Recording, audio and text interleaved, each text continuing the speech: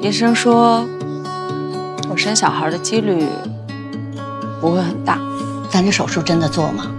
那万一要是像大夫说的那样有什么后遗症，这将来要是要不了小孩怎么办呢？万一要是有一天你遇到了一个哪哪都合适的人，单单是要小孩这件事情上得不到圆满，你说咋办？真要遇见了，他因为我不能生孩子嫌弃我，也不是哪哪都合适啊。